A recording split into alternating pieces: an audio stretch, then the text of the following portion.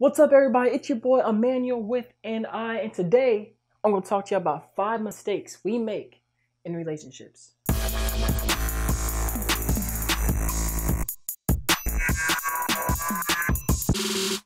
What is up, everybody? If this is your first time looking at my channel, I appreciate you coming here. My name is Immanuel with an I. If you are interested in a channel all about relationship advice, motivational speaking, and you want to ask me any question at all, then hit that subscribe button. And plus, if you do want to send me a question, send it to Immanuel with an I at gmail.com, and I will answer it to the soonest possibility and capability that I can. Now, let's get into it. The first mistake that we make in relationships is expecting perfection. Nobody is perfect. Everybody has their flaws. It's impossible to find somebody that is perfect and everything is just right. They're perfectly beautiful. They have the perfect personality with the perfect activities, perfect interests, perfect everything.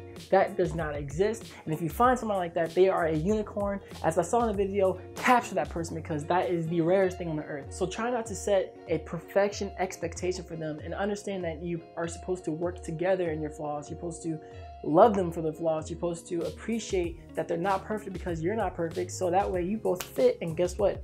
You're perfect together. The second mistake that we make in relationship is avoiding confrontation.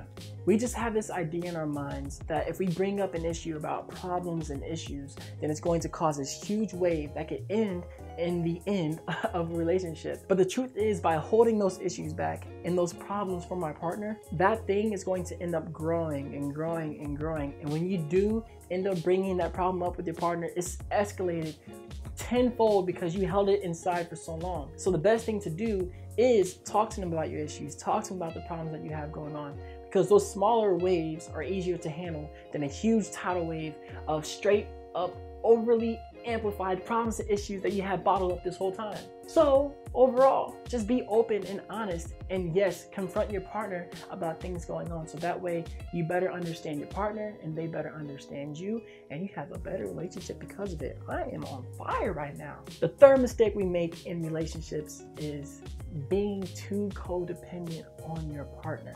Now, yes, being in a relationship can be fun. It can be happy and you enjoy hanging out with this person all the time. And yes, you have friends, but this person is so amazing and you want to just hang out with them all the time, be with them, hold their hand, kiss them, watch movies. You want to do everything together. But the problem comes when you start to lose yourself in that relationship. You start to forget who you are and you start to identify yourself solely as your partner. This means that let's say your partner had to go on vacation or your partner left out of your life or whatever reason that they're not there for that moment, you don't know what to do with yourself.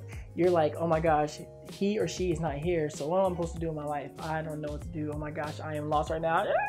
You still want to make time during relationship for me time, for time to do you. You were somebody before you met your partner, so make sure you don't lose who that person was. The fourth mistake that we make in relationships is losing romantic activities. What do I mean by romantic activities?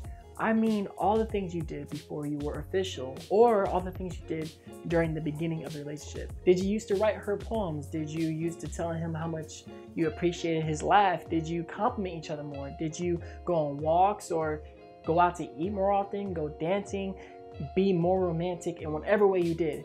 Did you stop doing those things? Believe it or not, relationships do take work, and the mistake that we make is forgetting all the things that we did in the beginning. Make sure that you still do the things that you did during the beginning of your relationship because those are the most important things that tied you two together.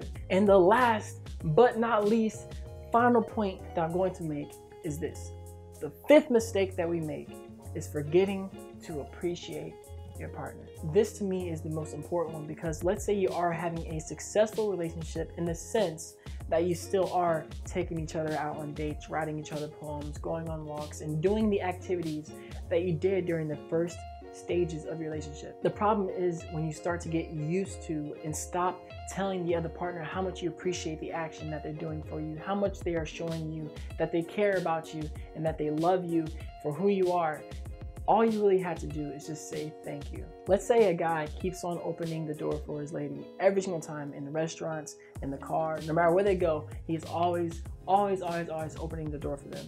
But after a while, the lady stops saying thank you. She stops saying, oh my gosh, you're such a gentleman. I appreciate you doing that for me. He's gonna start to feel like his actions aren't that important anymore because now you're used to it.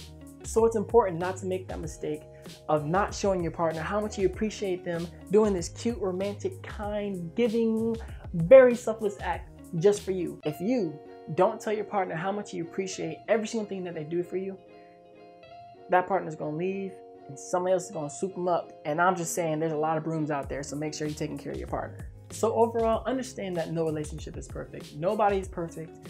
Continue to appreciate your partner for who they are. Stop trying to change them. Be open and honest about how you feel about your issues and your problems and continue to show appreciation for them and show them that they are still awesome just the way they are. As I said earlier, it's your boy Immanuel with an I, and I hope that you enjoyed this video and my thoughts on the five mistakes we make in relationships.